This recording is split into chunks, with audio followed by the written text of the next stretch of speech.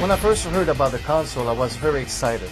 It is a new way of engaging gamers. It is a new way of even broaden the audience of gamers in the future. It is absolutely exciting. The new touch interface really creates lots of possibilities. Giving gamers a console that has connectivity, advanced graphics, and engaging interface, this is exactly what it takes to shape the future. We are thrilled to announce, and I'm sure the fans are going to be very happy, that Batman Arkham City is going to be on the new console. This new console will allow us, with all our key franchises, from Lego to Batman, to really shine in new ways.